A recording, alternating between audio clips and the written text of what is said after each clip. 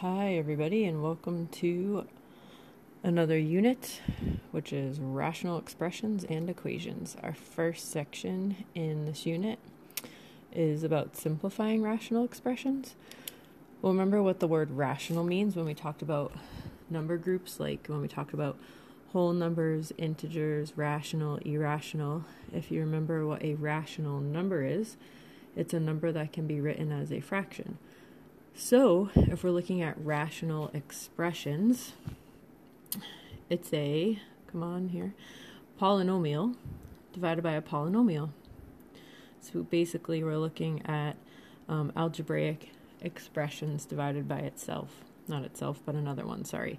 Your denominator can't equal zero, which that wouldn't even make sense because you can't divide by zero. So for this whole unit, we will assume that we will never have zero in the denominator because it couldn't be solved. So a rational expression is in simplest form if the numerator and the denominator have no common factors except one. And that makes sense just for a regular rational number, like 5 fourths. That's a rational number, and that is simplified because 5 and 4 don't have anything in common except 1. An example of what these rational expressions look like is one like this z plus 5 divided by 10z. No, you cannot cross out the two z's here because this z is being added to the 5 and this z down here is being multiplied by 10. So I can't just say, hey, those are gone. Nope. You cannot touch the one that's in a binomial. This is a group, they stay together. All right. So I'm going to show you three examples that are like your homework tonight. So the first one is one like this. Your numerator is the polynomial 6x plus 12, and the denominator is the polynomial x plus 2. So your first step, if you can, is to try to factor. So your numerator, what goes into 6x and 12? Hopefully you're going to tell me 6. So you're going to factor out a 6 in your numerator, and you're going to be left with x plus 2 the denominator, that cannot be factored. So I will leave that as x plus 2. So look, you have the quantity x plus 2 in the numerator and quantity x plus 2 in the denominator. Anything over itself equals 1, and I am just left with 6 over 1, which is 6. That's my answer. Number 2, another one like your homework. So again, you want to try to factor. So looking in your numerator, 2x and a negative 12 you want to factor out a 2. So you'd be left with x minus 6. And then here are your factoring skills. I told you these are going to keep coming into play. You need to find factors of 6 that give you negative 7. So I think we're going to say a negative 6 and a negative 1 because negative 6 times negative 1 is 6. Negative 6 plus 1 is negative 7. Look what the top and bottom have in common. x minus 6 x minus 6. Those cross out to just 1. Anything over itself is 1. In the numerator, you're left with 2. In the denominator, you're left with x minus 1. That's your answer. And last one, it's a pretty quick lesson today.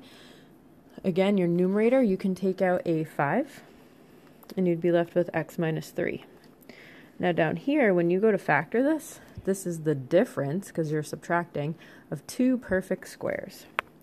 So this would factor into, you'd have a 3 and a 3 to get 9, and then a negative x and a positive x.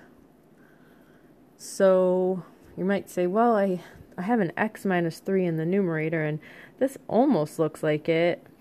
How could I get these to look the same? Here the x is positive, here it's negative. Here the 3 is negative, here it's positive. So let me show you one way you can go about to simplify this basically what you're saying to yourself, if you see that, is that you need to switch the signs.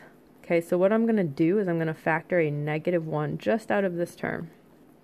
So if I take a neg 3 and divide by negative 1, that becomes a negative 3. And if I take a, neg a negative x, divide by negative 1, that becomes a positive x. I didn't touch this one.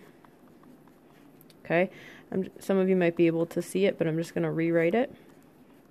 This is really x minus 3. And so now, same things, they cancel out. So you're left with 5 over, and I'll just write negative parenthesis. It's important you keep the parenthesis. 3 plus x. That's one way to write it. And that is a valid answer.